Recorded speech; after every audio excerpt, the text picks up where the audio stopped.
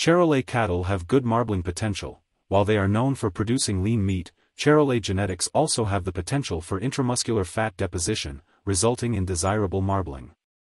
Marbling enhances the tenderness, juiciness, and flavor of beef.